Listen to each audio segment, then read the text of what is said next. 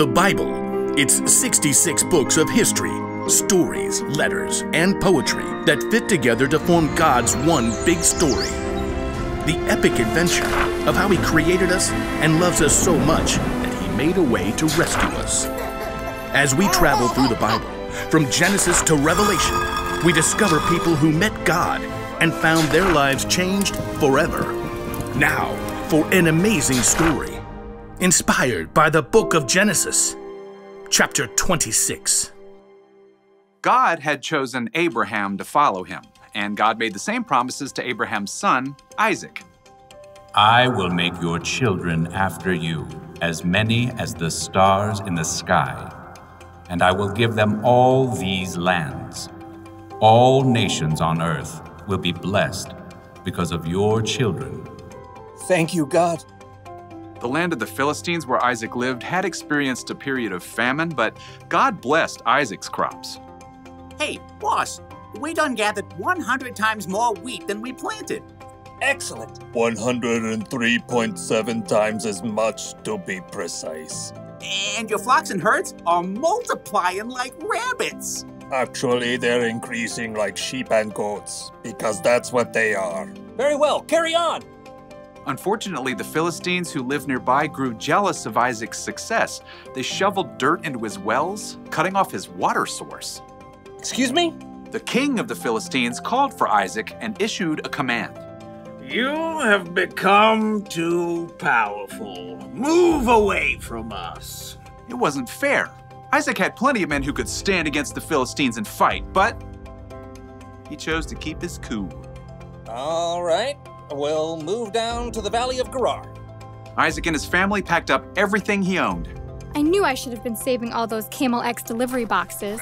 They moved on and made camp in the Valley of Gerar, where Abraham had lived many years before.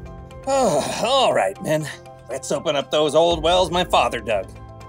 Isaac's servants immediately got to work, digging for water. Wee! It's hotter than a snake in a hog's back out here. My calculations of soil composition. We should hit water in precisely 2.6 seconds.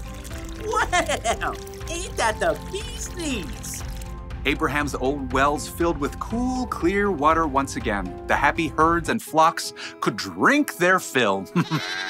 Uh, that is, until the nearby Philistine herdsmen showed up. So kind of you to open up these wells for us. Step aside, the water's ours.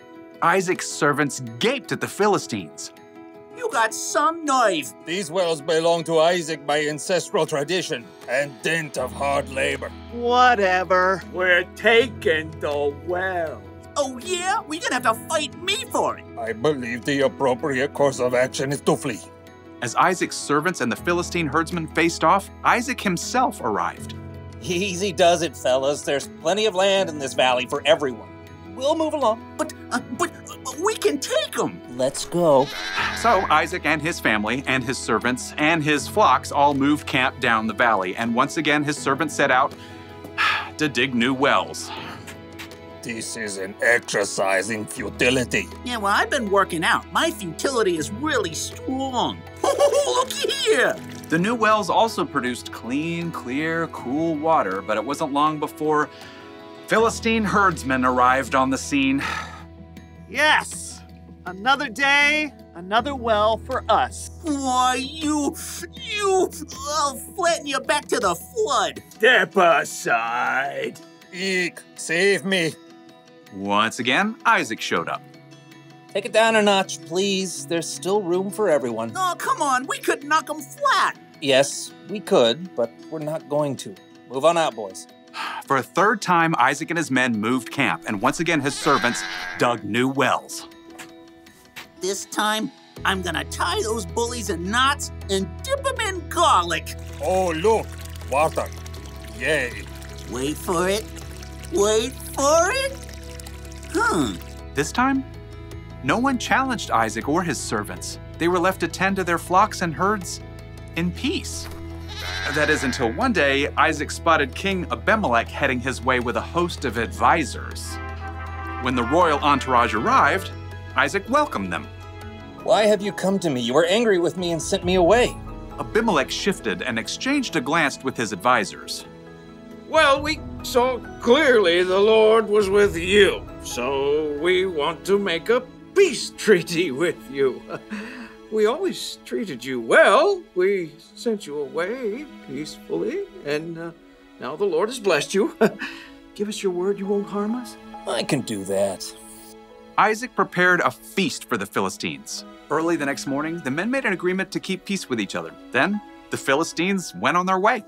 Need a drink? Pretty good well right there by the road. Yep, even though Isaac had the power to win a fight, he had chosen to stay strong and walk away three times in a row. And God had blessed him with peace.